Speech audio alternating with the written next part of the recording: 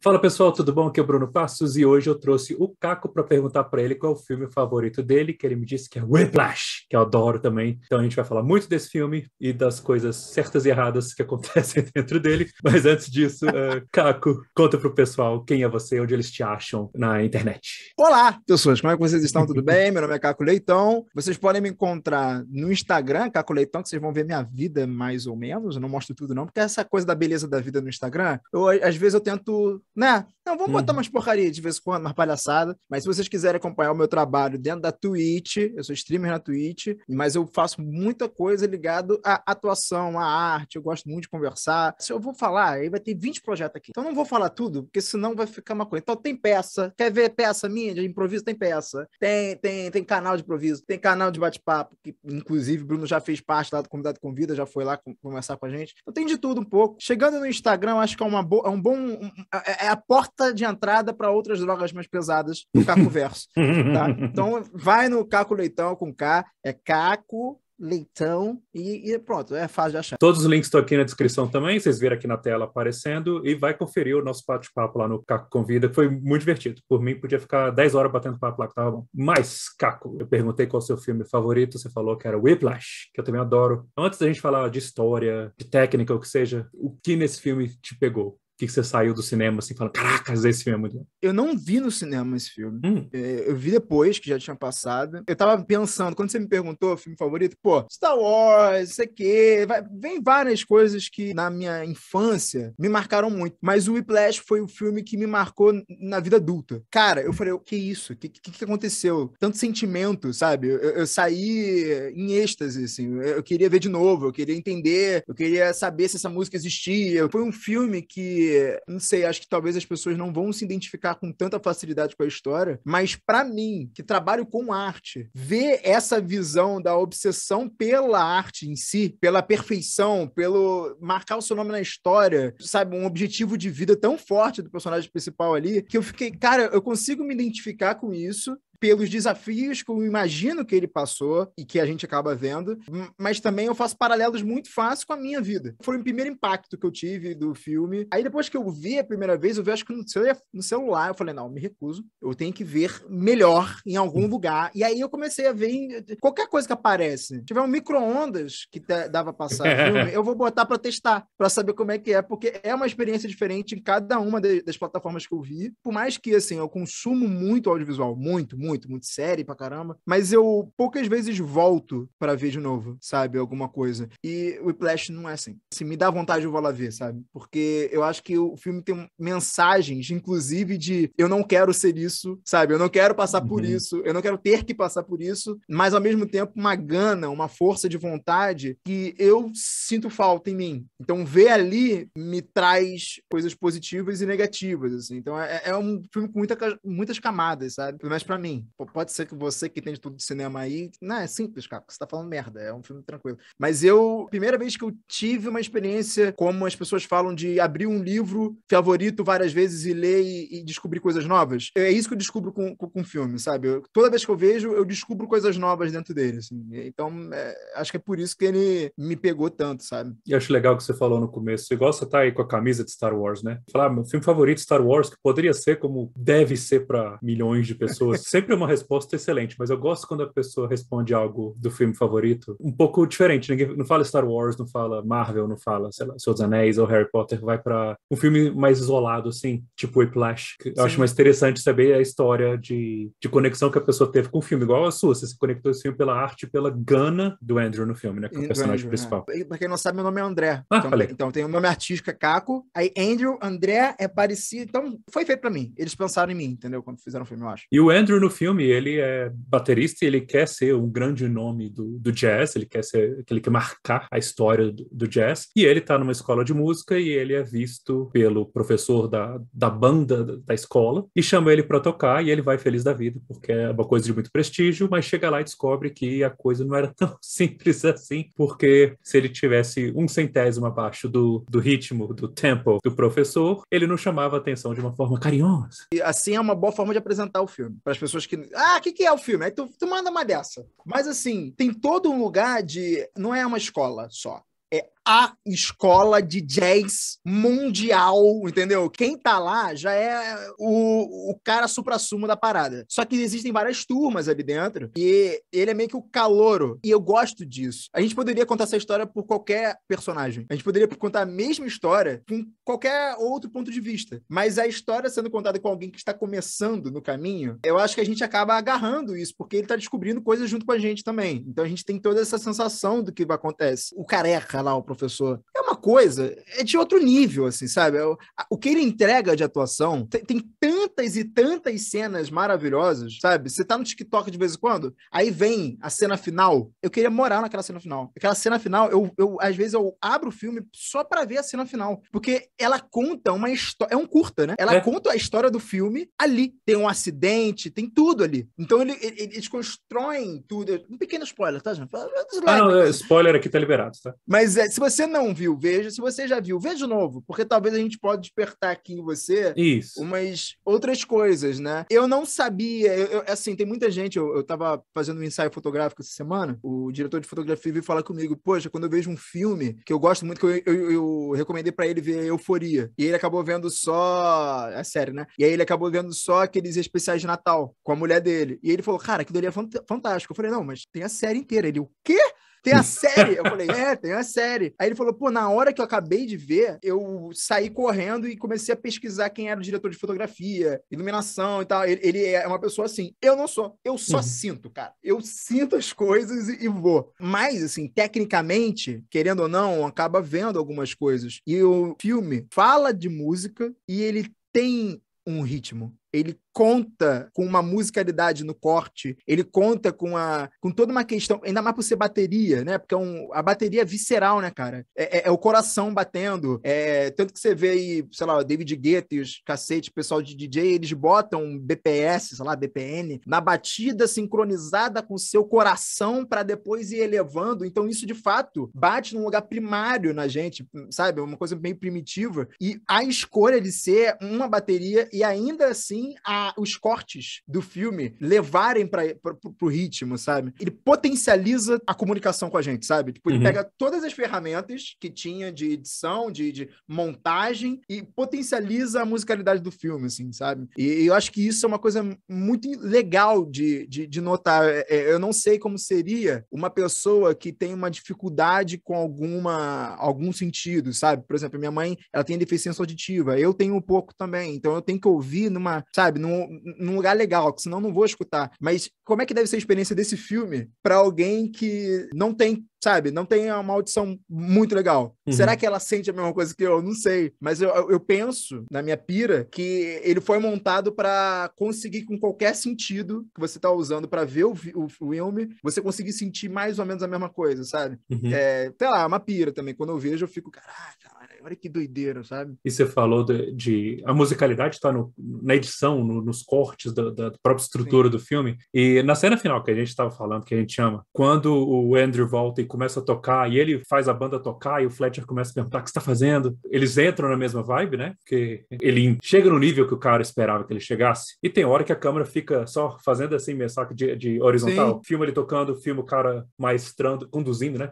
Aí volta e, via, volta e vem, e vai junto com a música e com o ritmo ritmo é delicioso de assistir. É muito gostoso, cara. Uma coisa que eu vejo um pouquinho diferente do que você disse de ele querer ser um nome da música, eu não acho que é isso. Eu pego mais no lugar dele querer viver aquele momento. Ele não é nem que, que ele quer ser marcado na história. Ele não quer. Não me parece tanto, por mais que seja um filme dos Estados Unidos, que tem toda uma questão da meritocracia, das outras pessoas validarem o que você faz, se você é uma grande pessoa por conta de outras pessoas grandes que você anda perto. Eu acho que quando ele chega no final do filme, tá? Ele vai se encaminhando, óbvio que tem um ego no começo, ele vai desconstruindo, e isso é absurdo para a arte, né? Quem trabalha com arte sabe que o ego é uma ferramenta muito potente, mas ele também pode te destruir em questão de perseguir o que você quer, o, o seu sonho e suas vontades. Mas ali, quando ele chega na compreensão real de que ele quer viver aquele momento, mais do que qualquer outra coisa, ele não tá nem aí se ele vai se se vai ter um futuro. Ele não tá nem aí para as coisas que ele passou antes, se ele brigou, se ele não brigou, se ele ferrou a mão dele. Ele quer viver aquilo ali. Quando a gente pega o paralelo da vida hoje em dia e vê tanta coisa sendo repetida, replicada, pessoas fazendo em quantidade ao invés de qualidade, e a gente se pergunta às vezes, as pessoas se apegam à verdade, as pessoas que fazem sucesso são as pessoas que, que fazem aquilo com verdade, tocam com verdade, cantam com verdade, fazem a música com verdade, atuam com a verdade, isso que faz a conexão. Mas o que, que é essa verdade? Eu acho que é aquele momento que ele viveu. É, ali é a verdade daquele personagem. Pô, cara, sei lá, é, é, é, melhor que sexo ver a cena. É melhor que sexo. Aquele filme é melhor que sexo, assim, sabe? Tipo, porque você olha aquilo dali e o cara realizou, cara. A gente não sabe o que vai acontecer depois. Eu tinha um professor de uhum. teatro que ele falava: quando a cortina abre, a cena já tem que estar tá acontecendo. E esse filme, ele é abre a cortina e ele fecha, sabe? Então, naquele momento que você viu, tem, é a ação completa do filme. A gente não, não interessa o que ele passou antes, o que ele vai passar depois. É aquele momento ali. E esse recorte da realidade, do momento da vida de alguém, todo mundo tem algum momento da vida que pode virar filme, sabe? Não sei, assim, eu, eu, eu, eu, eu gosto muito disso, eu gosto de como me faz sentir. Não sei dos erros técnicos. Você acha que tem muito erro técnico, assim? Porque eu, não, eu, eu sou apaixonado. O diretor, depois eu descobri que ele fez o La La Land também. Isso. Que já é, não é, não é um, um filme que eu gosto muito, cara. É um filme que eu acho meio blasezão, sabe? Meio água com açúcar, assim. É bonito, tem.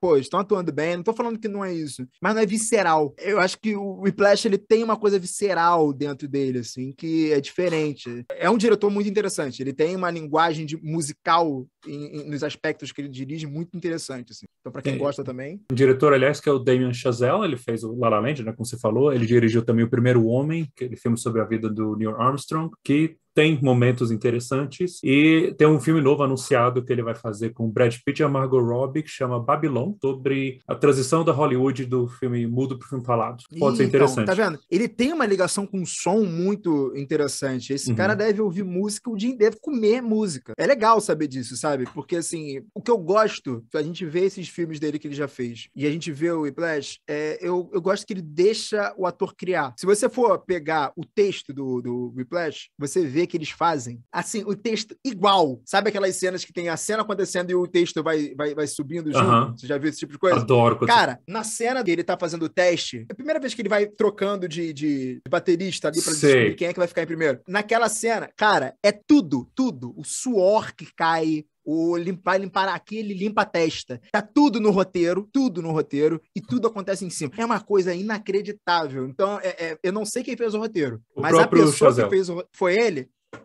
Irmão, aquele cara, ele, ele já. Sabe por que, que ele fez o filme? Porque ele já tinha visto o filme na cabeça dele. Ele já sabia o que ia acontecer. E isso, cara, quando acontece, não tem como não ser bom, velho. Quando a pessoa já sabe o que vai acontecer e ela deixa a outra pessoa criar em cima, e a pessoa, quando cria em cima, é igual, sabe? É, é fantástico. A gente tem um, um grande autor de teatro no, no, no, Brasil que ele tem uma peculiaridade, que é o Nelson Rodrigues. É, ele tem uma peculiaridade que os textos dele, ele, ele foi feito em outro tempo tempo, é uma outra linguagem. Por exemplo, ele fala batata, sabe? Tipo aquelas coisas tipo, ah, isso aí uhum. é batata, isso vai dar certo, é batata. E ele tem umas marcazinhas entre uma fala e outra de posicionamento, do que, que o personagem tem que fazer. Então ele meio que dirige com o texto, sabe? E se você tenta fazer alguma coisa diferente, não fica bom. Não fica bom, cara. Porque o cara escreveu ali, mano. É isso aí, sabe? E às vezes é... tem até um, uma coisa no teatro que o pessoal fala: autor bom é autor morto. Porque ele não vai reclamar se você mexer no texto dele. Excelente. E eu cito isso no filme, porque ele já sabia, cara. O cara, você pode criar o que você quiser. Só vai ficar bom se você entrar em sintonia com o roteiro. É isso. Sabe? Tipo, vai, cria aquela ilusão de que o ator tá achando algo que é dele, mas não, já tava ali, sabe? E é importante essa ilusão para quem dirige. Mais do que faz isso, fala, não, vai achando, acha. E dando pequenos toques até a, a cena se construir. Eu imagino que foi assim, né? Eu não sei como é que foi, mas eu imagino que ele tenha dado liberdade e por ter um elenco primoroso, eles conseguiram chegar no lugar onde já estava escrito. Então era simplesmente saber ler. E eles fizeram muito bem. O Chazelle, inclusive, está falando, ele já viu o filme antes, né? Ele queria fazer esse filme e não estava conseguindo financiamento. Aí ele fez um curta, o Whiplash, com a história reduzida, e o curta deu certo, ele passou em alguns festivais, aí que ele ganhou financiamento, e aí que ele fez o Whiplash longa, e para mim é o melhor filme dele. Você enxerga falha? Não, para mim esse filme é 10 de 10. Esse filme é perfeito. E ele não tem uma vírgula que eu mudaria nesse filme. Tudo, tudo encaixado, tudo bonito. Interessante que o Whiplash concorreu ao melhor filme no Oscar, né? Ganhou de melhor edição, que a gente estava mencionando. Ganhou de ator coadjuvante com o uhum. J.K. Simmons. Eu, dos filmes da época que estavam passando ali uhum. no, no, Oscar, eu achava que ele ia ganhar melhor, o melhor filme também. Birdman, foi o ano do Birdman. Ah, que é bom pra caralho também, não tem que falar. Mas eu tô vendo aqui os indicados filme... o melhor filme desse ano. Pra mim, o Whiplash era o melhor. Era esse o Grande Hotel Budapeste é. que tava ali pra mim, que eu, no meu coração eram esses dois. Cara, o Whiplash, ele é tão... Você vê o filme, você esquece que você tá no cinema, cara. Que tipo de coisa te transporta assim, sabe? São poucas as coisas. São, são poucos, poucos os filmes que chegam nesse nível de, de uma imersão tão grande que você esquece de verdade do mundo de fora. Você esquece até que você vontade de fazer xixi. Só que o filme é. consegue fazer você ficar mais tempo. É maravilhoso. O filme também ganhou melhor roteiro adaptado, porque era uma adaptação do roteiro do próprio Chazelle do curta. Achei maravilhoso isso. Você tá falando do ego mais cedo, do artista ali, né? Tem aquela cena do almoço, jantar, não lembro, que ele tá com o pai e gente da família. Chega primo, sei lá o quê, e todo fala, ah, o capitão do time de futebol americano, tananã. Mas quando fala com ele, ah, você ainda tá na sua, na sua aulinha de música? Saca? Ninguém é. bota fé no que o cara tá fazendo, trata como uma coisa menor, e ele vai ficando pé da vida. Até que ele começa a jogar na cara, você tá na terceira divisão de futebol americano, você acha o quê? Ele começa a falar mesmo, porque ele quer, aí parte do ego, né? Ele sabe Sim. que ele é bom e ele quer botar isso ali na mesa. mas, mas é esse que é o, o incrível do, desse filme para quem é artista, porque aquele almoço é todo dia. Muitas vezes, se a pessoa não, não é sozinha na vida, aquilo dali é todo dia. É, é perguntar, pô, o que, que você faz? Ah, eu sou ator. E tu trabalha com o quê? Eu sou ator. O meu trabalho é esse. É, essa é a minha arte, sabe? Hoje em dia eu vejo fazer stream também como uma possibilidade de arte, é uma plataforma diferente, assim como tem teatro, tem, tem vídeo, tem curta, tem, tem YouTube, tem é, cinema. Live é um modelo, sabe? Que tem uma interatividade que não tem nas outros, nos outros elementos. Então, é, tem muito streamer que fala, é, eu sou streamer, mas eu também trabalho com... Pô, eu não, eu sou engenheiro, mas sou streamer de vez em quando. Aí eu acho que é o ponto do filme que é, enquanto você tratar o seu sonho, o que faz você ferver por dentro, como um plano B, enquanto você acreditar no som das pessoas que estão em volta dizendo que que dali é, é um hobby, você não vai conseguir. Você tem que se integrar num lugar de virar o plano A, irmão. Para dar certo, tem que virar o plano A. E quando eu falo para dar certo, é para aquele momento dar certo. Não é para você viver de música ou viver. Não, não, não, não. A arte, ela é foda. Vai ter dia que você vai precisar fazer um jingle, tá ligado? Vai ter dia que você vai fazer um, um sei lá, uma propaganda do Boston Medical Group. Você vai precisar para conseguir pagar suas contas. Mas se você quer chegar na excelência que aquele cara chegou no filme ali, é um sacrifício, é um objetivo de vida, cara. Então, assim, para a vida que a gente vive hoje, aquele cara viver daquela forma, ele teve que abdicar a vida inteira, sabe? para conseguir chegar naquele momento. É um filme que se passa já num lugar que tem rede social, que tem tudo isso, e você não vê isso no filme, porque a gente está vendo o personagem principal, a gente está vendo a visão dele. Ele não gasta tempo com essas coisas. Ele se entrega completamente para a arte. Ele tira tudo do quarto, bota a bateria e fica tocando 18 horas por dia. Ele tem um balde de gelo, que depois que a mão sai sangue. Cara, isso é muito rock, tá ligado? O, uhum. o, o pá, pá, pá, é uma luta dele com ele mesmo, assim, sabe? E ele sangra e ele continua tocando. Irmão, a cena que ele sofre o um acidente, que ele tá no carro, que ele esqueceu a baqueta, pegou, voltou, tomou um caminhão. Primeira vez que eu vi aquilo dali, eu fiquei tão, sabe, tão em êxtase, porque o filme tava numa frequência lá, tava na batida, lá em cima, uhum. lá em cima, lá em cima, lá em cima, nationalism Plou! E eu falei, fudeu, ele não vai voltar. E ele volta todo ferrado, todo cheio de machucado para tocar, e ele erra, tá tudo quebrado. Aquilo dali, é, é, para mim, é, é, uma mãe sabendo que o filho tá morrendo. É a mesma entrega, tipo, é a vida dele. Não tem nada mais importante na vida dele do que tocar. Não é diferente de um, um gol de uma Copa do Mundo. É que é a Copa do Mundo dele. É, é o nascimento do filho dele, é, o, é a defesa de mestrado dele. É aquilo dali. Só que é aquilo dali toda vez que ele toca toda vez que ele treina. Então você imagina viver com essa adrenalina, viver com isso dentro de você. Eu gosto muito, não tem como. É por isso que eu convidei aqui. Até, tudo que você falou, né, de, de tratar o plano B com o plano A, é por isso que eu comecei a produzir conteúdo de cinema aqui, porque o que eu gosto é conversar de, de filme, de cinema, de cultura pop, de série. Tô fazendo videozinho brin brincando no TikTok pequenininho, gosto. Tô aqui fazendo um, um, podcast pra gente bater papo de filme, gosto. É disso que eu gosto, meu coração tá nisso aqui. Então eu vou ficar fazendo isso aqui todo momento que eu conseguir fazer. Eu tô muito mais ocupado do que eu tava antes, eu tô mais satisfeito, que eu tô indo atrás disso, sabe? E outra que você falou do, do sacrifício, tanto sacrifício dele, né, do quarto vazio e tudo, ele é tão consciente da necessidade disso que quando cai uma ficha maior nele, do nível que ele quer chegar, porque ele já está influenciado pelo que ele precisa ser para ser aprovado pelo professor, ele encontra com a namorada e ele fala na matemática: Ó, oh, eu não vou ter tempo, aí você vai me ressentir, aí você vai brigar comigo, aí eu vou para, deixar de treinar para ficar com você, aí eu vou te ressentir, então vamos, vamos só terminar logo. Ele joga assim, psh, como se fosse, é, infelizmente, essa situação, 2 mais 2 é. é igual a 4, não tem que fazer, então a gente vai ter que terminar. E termina ali com a menina. E ela fica chocada, né? Para ele não tá errado. Para ele, eu falo, não, eu e... tomei minha decisão porque eu preciso disso. E eu não vou ter tempo. Eu não acho que ele não sentiu. Eu não acho que ele não sentiu, eu não acho que ele não que ele não tomou uma decisão mecânica, robótica. Uhum. Eu acho que ele tomou pensando, cara, se a gente terminar agora, é melhor do que terminar depois, porque depois vai todo mundo se machucar mesmo, sabe? Eu, você, todo mundo. Eu não vou parar. É uma autoconsciência do que ele quer muito forte. Sim. Eu quero isso, e por isso, pensando assim, eu não vou ter tempo. Ele é um cuzão? Sim, é um cuzão. Não, não, vamos falar que não é. É, é um cuzão. Mas, mano, a gente às vezes tem que ser um cuzão para conseguir as coisas que a gente quer de verdade, cara. Enquanto a gente ficar vivendo o que os outros esperam, o que os uhum. outros querem, se ele fosse viver, ele ia virar um professor que nem o pai dele, que não tem problema, é uma opção de vida. Mas ele não é isso que ele quer, ele não, não. quer isso. Então, é, é, ele foi fiel a ele mesmo. Cara, pode ser, sei lá, se daqui a alguns anos, tá, 20 anos, eles falam, pô, vamos fazer uma. Vamos fazer um filme mostrando como é que é, o que, que aconteceu com ele lá na frente. Não, uhum. não acho que vai acontecer, não acho que vai não, ser. Que pode é, ser é melhor boa. deixar a história terminar como terminou. Melhor... Tá. Mas não seria do caraca? Seria maneiro ver o um negócio, tipo, ele fudido, morando na rua. Oh, que não horrível. Ser, assim, Adoraria. Uma, uma coisa... Eu tô falando que seria bom em quesito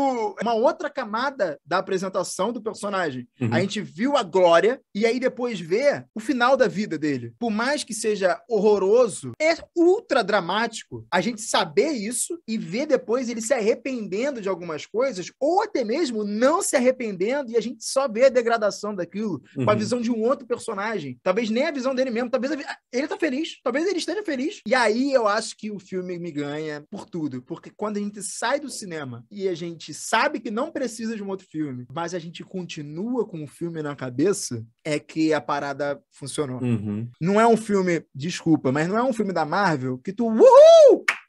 Bate palma aqui, ó, aí vai embora, que eu, tinha um professor de teatro que falava, né? Que quando você bate palma é você limpando a mão você se desfazendo do que você acabou de ver. Então, ó, acabei aqui, vou embora, vou para casa. O Whiplash, você não bate palma no final. O Whiplash, você fica assim, ó ele fica, ele assenta, ele vai ficar no seu subconsciente de alguma maneira. Imaginamos aqui, querendo o roteiro, entre em contato com a gente, mas, brincadeiras à parte, eu acho que é um drama, não sei, tá? É um achismo aqui, mas a gente vive hoje em dia tão polarizado, a gente só entende quando é o extremo. Ter um extremo para contar uma história é onde a gente consegue ver as diferenças, a gente consegue ver o relevo das coisas, sabe? Se fosse, ah, vamos fazer um filme blazer aqui, ele vai ficar com a namorada, ao mesmo tempo ele tenta aqui, não ia ter filme, não ia ter conflito, não ia ter nada. O filme é mais interno ele com ele mesmo do que ele em combate com outra pessoa. Tanto que no final a gente, a gente vê a pessoa que a gente achava que era um antagonista o tempo inteiro é justamente a pessoa que faz com que juntos eles vão num sentido. O antagonista do filme é o personagem principal. É um filme que mostra a nossa realidade. A gente é o nosso próprio antagonista. A gente tem as nossas dificuldades, a gente impõe as nossas coisas. É isso que o, que o filme, na minha, na minha visão, apresenta uma outra camada do filme, que é que quando você parar de olhar para o mundo fora, achando que ele está apontando o dedo na tua cara e por causa disso você não consegue,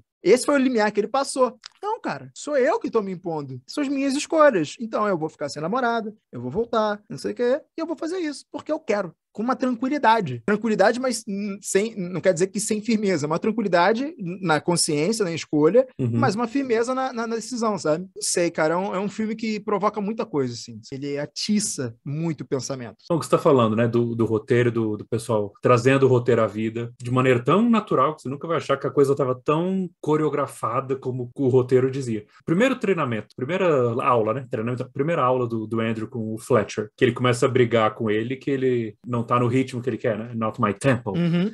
É...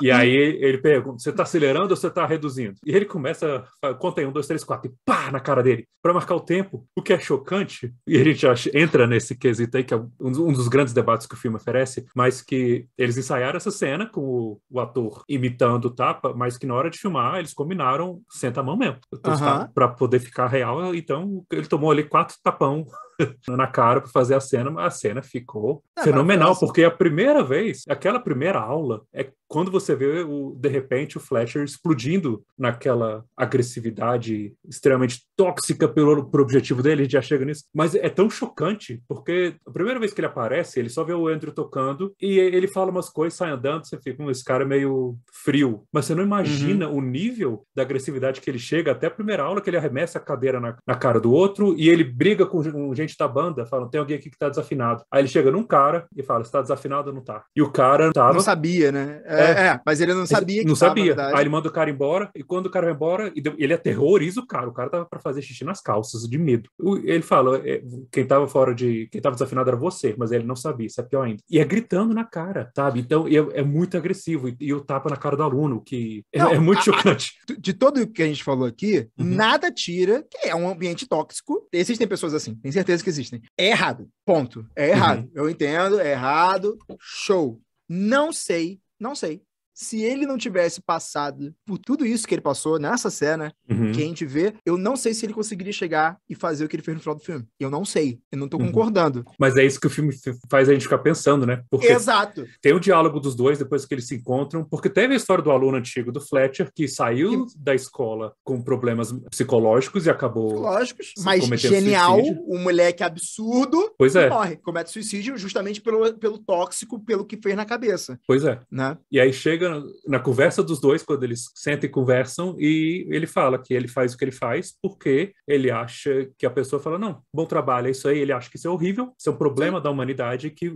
as pessoas param de procurar o seu melhor, param de tentar superar seus limites ou sabe, aumentar seus limites, digamos assim. Você vai até esse ponto, então você treina, treina, treina, esse, esse seu limite aumenta um pouquinho mais. E Cara, ele a... acha isso extremamente necessário, e quando o Andrew questiona ele, né, que ele fala, mas você não tem medo de o jeito que você faz afastar a pessoa que vai ser o grande novo músico, ele fala de maneira alguma, porque o grande novo músico não desistiria. E esse é o ponto e de vista. E eu concordo pra caralho com isso. Assim, uhum. meu irmão, Pra tu ganhar uma medalha olímpica, tu tem que sacrificar, tá ligado? Então, assim, é bem isso mesmo. Infelizmente, ele tem que pagar pelo que ele fez, sabe? Que ele faz com, com, com os alunos, é óbvio. Mas, de fato, a gente não, no filme, apresenta isso, mas quais são os grandes exemplos que a gente tem hoje que se sacrificaram por algo e que tocam a gente de uma maneira que fazem a gente querer coisas. Pintor tem uma cacetada. Cantor, tem muito. Bailarino, bailarina, tem, tem, muito. Mas alguém tem que ser a ponta do iceberg. Alguém tem que ser o Michael Jackson. Alguém tem que chegar e representar o que é o limite. E alguém tem que tentar passar esse limite. Sim. E passar esse limite, passar esse limite. Porque senão a gente fica estagnado. E assim, não é um lugar, eu acho, aí é um achismo, tá? Não é um lugar de que isso talvez vai acontecer. Não,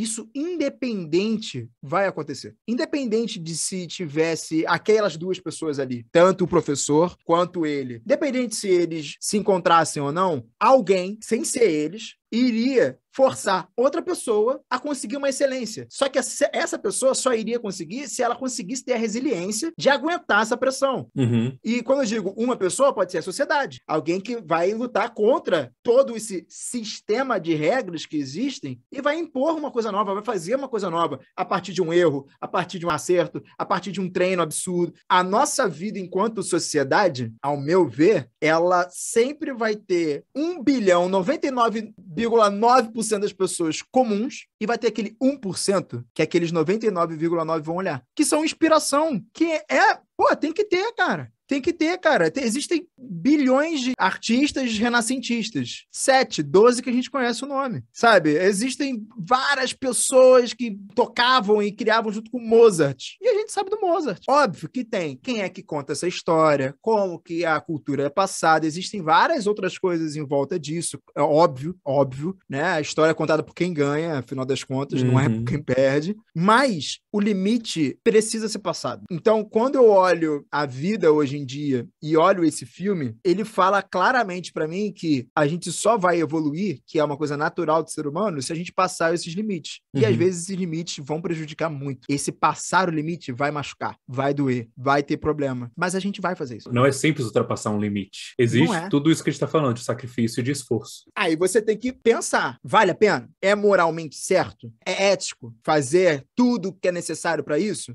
Não sei. Mas aí, aí, aí, ó, Caceta. Aí a gente chega. Você que está em casa, você que está assistindo, você que está ouvindo. Você tem um filho, você tem uma mãe, você tem alguém. Pega alguém que você ama muito.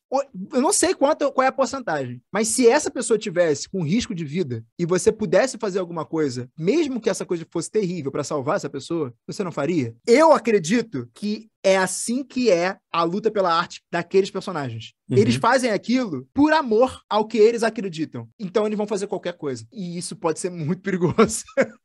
assim como se ah, ah roubaram, lá, sequestraram meu filho, vou matar, vou deslacerar todo mundo, irmão. Tem muita gente que pensa assim. Olho por olho, a gente vai ficar cego. Mas essa energia do salvar, essa energia do fazer tudo para o que eu amo, eu acho que é isso que o filme consegue trazer tão bem. Sabe? E fica essa, esse debate de até quando essa dedicação vira uma obsessão negativa que pode Exato. te corroer por dentro ou destruir algum outro aspecto importante da sua vida que você ah, pode não estar tá vendo, não. É muito debate que esse filme gera só nesse é quesito. Muito. Se a gente falar ainda de detalhes de música, mas você pode ver no lado do Andrew procurando a arte dele, né? A dedicação dele. Você pode ver pelo lado de professor. Claramente ele está errado, ele não pode agredir aluno e ser abusivo com o aluno, mas como que, como professores, nós incentivamos, motivamos nossos alunos a, a chegar à excelência, a seguir em frente de uma forma saudável. Exato. Sem ser dessa, saca? Que, Porque esse é o equilíbrio que é muito difícil de achar. Obviamente, se tiver uma maneira saudável de chegar à excelência, pô, tem que ser por ali, cara. Não tem dúvida, não resta, não resta dúvida nenhuma. Mas esse olhar de professor, de, cara, eu tô vendo o que ele pode ser e eu vou ajudar ele a chegar onde ele quer, é muito bonito, sabe? É algo que, assim, por mais que o filme tem muito, traz muitas coisas erradas que acontecem, claro, mas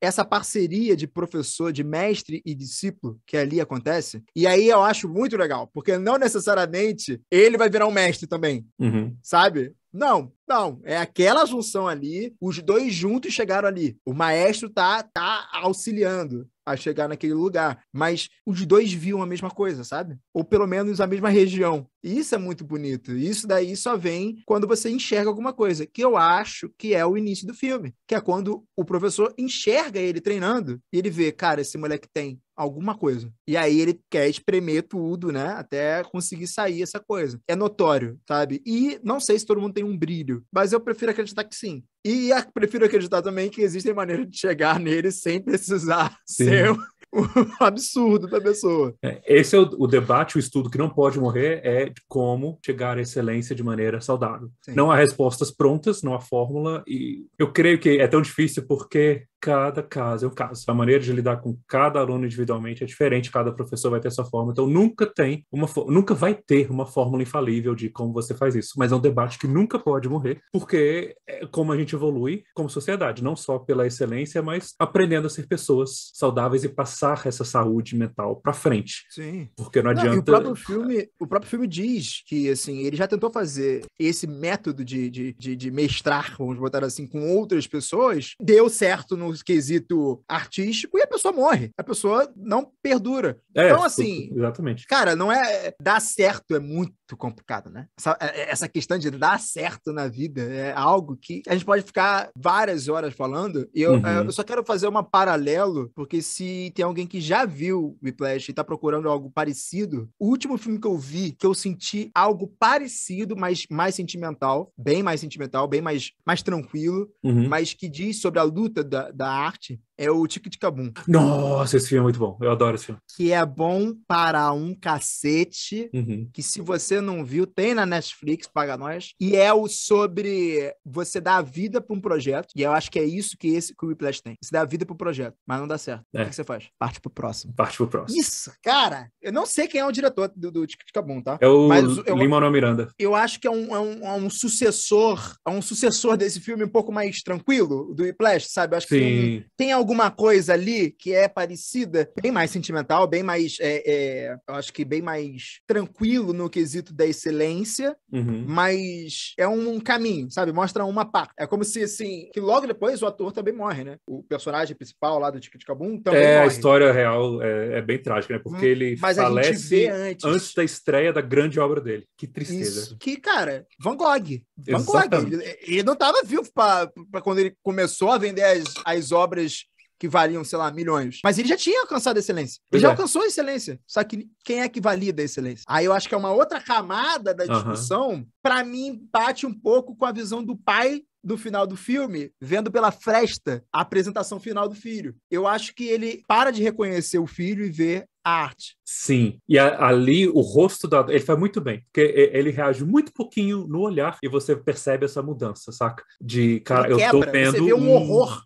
é, esse, esse cara é um monstro. Quase. É, não porque exato. ele é maléfico, sabe? É porque o menino é, é muito talentoso e tá meio que obcecado. Ele voltou para fazer negócio. É uma mistura de espanto e admiração e de orgulho. Eu, eu, eu sinto que ele é entendeu. É impressionante. É, eu também. Eu sinto que ele entendeu. Tipo, tem um. É, é, porra, aquela cena linda e é segundos do filme, que é micro. O pai vai de um horror absoluto, uhum. você vê um horror no olhar do pai, e depois ele assenta e ele entende. Mas a gente não vê esse processo todo dele aceitando. A gente vê o ápice, a gente vê o horror e aí corta. Cara, Ai, cara, nossa, não faz isso comigo. Esse filme, é, esse filme é muito bom. Putz, grilo, esse é bom demais. Eu lembro de. Eu vi no cinema e eu lembro de sair. Igual você falou, né? O filme fica com você. Eu saí, saca, pensativo. Com aquele, pensativo positivamente, aquela expressão de caraca caracas, que filme bom, saco meio regalado, olhando pro chão. E eu fui dirigindo para casa pensando no filme. Geralmente eu tô no carro, eu coloco alguma coisa para ouvir. Nesse dia eu não botei, porque eu, ficava, eu, tava, eu tava, sabe, com o filme marinando na cabeça eu pensando. Esse filme é bom demais. E foi minha torcida pro Oscar aquele ano. Ganhou outra, outra coisa, mas por mim, é, meu coração tava com ele. Eu acho também que eu gosto tanto do filme porque eu venho de um crescente de gostar muito de filmes que falam sobre música. Uhum. Algo que me pega, séries que falam sobre música. Tem o Mozart in the Jungle, que, eu, que é bobinho, é uma coisa boba, mas eu, eu gosto, eu gosto de música, de, de orquestra, sabe? Eu gosto de ver esse, esse mundo da, da de, de, orquestra. Por mais que ele seja jazz e tal, tem o, o, o trabalho em equipe, tem o maestro, tem toda essa união, né? Cada, cada um é excelente individualmente, mas precisam tocar junto de alguma maneira. Eu gosto de filmes que falam sobre isso, e não, não necessariamente sobre música, mas que a música é o, o, o motivo das coisas entrarem em, em, em arranjo e desarranjo arranjo, em como as coisas acontecem, né? Acho que eu fui criado e, assim, sabe, tipo, o Disney veio me mostrando ótimas músicas, e aí eu fui gostando e ganhando gosto sobre isso, e cheguei no final de querer ver o backstage da criação de um grupo, da criação de algo acontecendo. E aí, aí veio o Whiplash, sabe? Que mostra a individualidade dentro de um grupo também, que é importante, que senão não existe. Uhum. É, mas é um grupo, continua sendo um grupo. Sim. E é muito doido, porque esse filme é claramente sobre um personagem, mas ele só acontece porque todos os outros mostram um pouco daquele mesmo personagem, sabe? Tudo uhum. fala sobre aquele personagem, tudo. Então acho que é, é, o que eu falei no começo. Ele potencializa tudo, sabe? Por isso que ele é tão, ele é tão preciso, é um filme preciso. E eu não sei se atinge todo mundo. Essa ah, é uma grande questão não. que eu queria, é. que eu queria saber até do, da galera aí para comentar aí no, é. nos comentários. Te atingiu o Whiplash? Como é que te atingiu o Whiplash? Porque pode ser que não tenha e eu fico com receio de não ter, porque a mensagem é tão muito boa, sabe? Mas sempre tem, né? É impossível um filme atingir 100%, por mais Sim. quando a gente queira que isso aconteça. Então vai ter gente que viu o filme e falou, ah, legalzinho. Ou vai ter gente que simplesmente só saiu horrorizada pela situação do, do que o professor fazia com os alunos e não vê por esse lado que a gente está discutindo aqui da arte. E tudo bem, saca? Se você viu o Whiplash, teve uma Comenta qual foi a sua visão. Você concorda com a gente, não concorda com a gente? E se você está ouvindo pelo podcast, acha, acha a gente nas redes sociais e vem trocar ideia, porque trocar Comentar. ideia sobre Flash é bom demais. É bom Interessante demais. você falou também. Do, a Disney vem acostumando a gente com muitas, muitos musicais. Tem muita, muito, muita música boa que a Disney produziu de 1990 para cá, fechando que eles começaram muito era de musical. E os últimos de, de enrolados para cá são excelentes e uma sugestão para quem é muito fã de Frozen, gosta da música de Frozen, tem uma minissérie documental documental do Making of de Frozen uhum. na Disney Plus e tem esse processo deles criarem a música como uma música importante no filme. Foi muito difícil de sair, não estava achando o tom, não estava achando o, a, a, voz. Eles sofreram para achar a música, mas acharam. É muito legal de ver todo momento de composição, de discutir ideia, de pensar no vocal, da gravação, da orquestra. É delicioso. Fica essa recomendação para quem quiser ver. Tem uma recomendação também, já que a gente está falando de Disney, de Whiplash, uhum. eu acho que tem um filme que tem tudo a ver, que é, eu não, não vou lembrar totalmente o nome, mas aí vocês vão procurar e vocês vão achar, que é um que conta a história do Walt Disney. E aí hum. ele e, e, como ele faliu a primeira empresa de animação e depois ele uhum. teve que uhum. fazer de novo. E que, uhum. cara, é tão fantástico esse filme e é justamente o que acontece no Flash, que ele tenta chegar na excelência, ele é muito bom, só que dá merda, desiste uhum. ou entra no ostracismo e depois ele volta. Como a derrota faz parte da Sim. caminhada da excelência, sabe? É você falou do tic tic bom, né? Exato. Me dediquei nesse troço, sei que ele é bom, não deu certo. Parte pro próximo. Eu acho que tá aí, ó, umas recomendações que energias parecidas, né? Acho que quem gosta de arte, é, mesmo não sabendo tanto de desenho, não sabendo tanto de música, não sabendo tanto de teatro musical, Tic Tic Boom, esse do, do, do, do, do Walt Disney, que eu não vou me recordar, mas deve ter no Disney Plus, não sei, tomara que tenha. E o Whiplash, eu acho que eles têm uma energia parecida na questão da criação, né? De chegar em algum lugar. E o legal é que também é baseado em fatos reais, né? Esses dois últimos. O Whiplash não é, mas uhum. os outros dois é. Existe, gente. Existem excelências. Existem Existe. histórias que, que podem ser contadas, sabe? É legal porque essas histórias nos inspiram a várias coisas. É por isso que eu gosto tanto de, de, de cinema, de, de arte em si, porque a arte inspira a gente a nos dedicar mais para o que a gente quer fazer, ou nos dá um alento porque a gente está num momento difícil, tá? Eu te dá um respiro que te ajuda a superar uma coisa que você tem perturbada na sua cabeça há tanto tempo. A arte é muito poderosa, a arte não é só diversão. É por isso que eu gosto tanto de falar disso. E, eu, e por isso que eu dou um valor enorme para a cultura pop. Pode não ser tão profunda muitas vezes, mas é tão mais difundida e que tem sim seu valor. E é por isso que eu gosto de ver que falar e trocar ideias. É por isso que eu gosto de chamar a gente para conversar de por que, que você gostou tanto desse filme. Porque geralmente eu vou, vou falar de papos assim, como esse filme te pegou uhum. por dentro. E aí, e aí que é lindo, velho. É aí que eu gosto de cinema. É isso que. É para isso que eu tô aqui conversando, cara. Assim, isso é bom demais. Não, é maravilhoso. Isso é muito bom. Acho que enquanto a gente encarar a arte como algo que é pequeno ou não tem importância, a gente não vai entender que todo mundo faz arte. Viver é fazer arte. Em certa medida, alguém tem uma aptidão manual, uma aptidão com olfato, com paladar, porque a arte nada mais é do que um sentido apurado, né? Você pega uhum. um sentido seu e você apura ele. Você, você bota ele numa perspectiva mais elevada. E ninguém é blazer. Ninguém é, sabe, ninguém é um personagem de RPG que tem tato 50%, sabe? paladar, cinco... não. A gente tem os nossos níveis, a gente tem a nossa forma de se comunicar com o mundo. É, e, e mesmo que você não goste de filme, vai ter música, vai ter, sabe? Tem, tem, tem, tem arte para você, tem arte para todo mundo. E você também faz arte nesse mundo. Cara, a gente tem uma vida, a gente modifica o nosso espaço, a gente modifica a, a, a, nossa existência aqui nessa terra. Existem pessoas e mais pessoas que passaram no seu caminho. Às vezes, a gente fala sobre uma história, a gente está contando uma história aqui, a gente está conversando aqui. É, às vezes a pessoa canta na rua, às vezes a pessoa faz um passinho, às vezes. E aquilo ali, a gente não sabe como toca em outra pessoa. A gente não sabe. Mas o, o ser artista é diferente de fazer arte. O ser artista é o como você observa a arte nas pessoas. Que eu acho que é um pouco o que o professor faz. É ver a pessoa além do que ela está fazendo, sabe? É ver aquilo além do que simplesmente a gente está acostumado a ver. É, e todo mundo tem esse potencial, sabe? De ver. Todo mundo tem um potencial de ensinar alguma coisa.